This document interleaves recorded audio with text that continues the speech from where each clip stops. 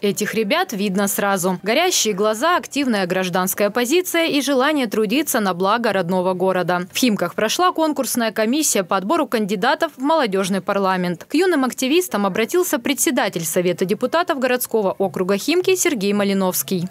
Вы, э, по сути, это кадровый резерв, э, наша надежда и опора для нынешнего состава Совета депутатов городского округа Химки и состава, в том числе Московской областной думы и, конечно же, Государственной думы. Молодые лидеры подготовили свои презентации. Перед началом этого важного этапа с напутственным словом выступили почетные гости. Они же вошли в состав конкурсной комиссии. Среди них Евгений Кулаков, советник министра информационных и социальных коммуникаций Московской области, а также депутат Государственной Думы Российской Федерации Ирина Роднина. Каждый из них, э, ну, я бы уже сказала, личность. Да. Разный возраст, а, разные интересы, но то, что это не просто времяпровождение, а желание заявить, сделать и э, участвовать, э, это, это важно. Юные кандидаты в молодежный парламент учатся, работают, занимаются волонтерством и творчеством. У каждого из них свой опыт в реализации социально значимых проектов и своя мотивация членства в парламенте. На данный момент я обучаюсь на третьем курсе режиссуры кино и телевидения. В любом случае это какая-то самореализация, потому что открывается огромное количество возможностей